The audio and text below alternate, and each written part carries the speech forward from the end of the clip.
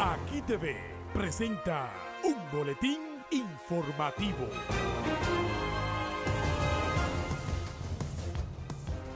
Gracias por continuar con nosotros. El presidente Danilo Medina designó ayer por decreto a 49 personas en diferentes posiciones de la administración pública y en el servicio exterior, entre los que hay varios viceministros, cónsules y ministros consejeros. Espere más en nuestro próximo boletín informativo. Aquí TV presentó un boletín informativo.